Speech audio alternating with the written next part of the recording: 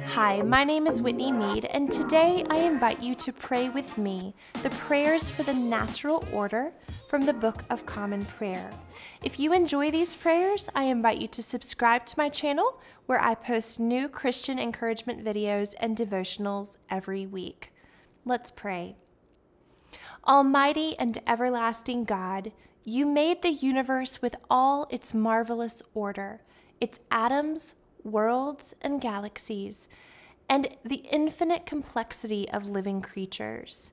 Grant that as we probe the mysteries of your creation, we may come to know you more truly and more surely fulfill our role in your eternal purpose. In the name of Jesus Christ our Lord, amen. Almighty God, in giving us dominion over things on earth, you made us fellow workers in your creation. Give us wisdom and reverence so to use the resources of nature that no one may suffer from our abuse of them, and that the generations yet to come may continue to praise you for your bounty. Through Jesus Christ our Lord. Amen.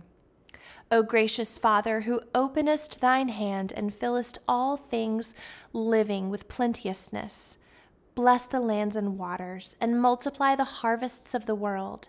Let thy Spirit go forth, that it may renew the face of the earth.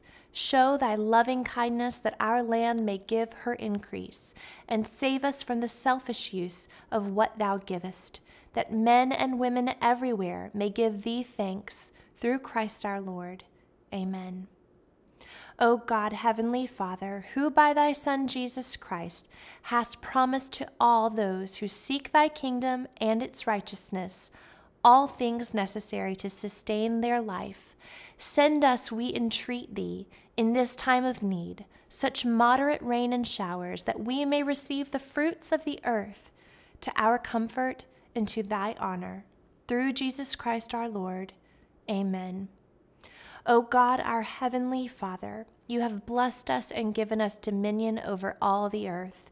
Increase our reverence before the mystery of life and give us new insight into your purposes for the human race and new wisdom and determination in making provision for its future in accordance with your will. Through Jesus Christ our Lord. Amen. Thank you for joining me for these prayers for the natural order from the Book of Common Prayer.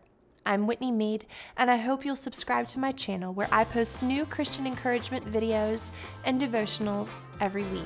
You can also join my free video devotional series, Fitness and the Father, by texting the word Whitney to 31996 or by signing up for free at fitnessandthefather.com. May the Lord bless and keep you. I'll see you next time.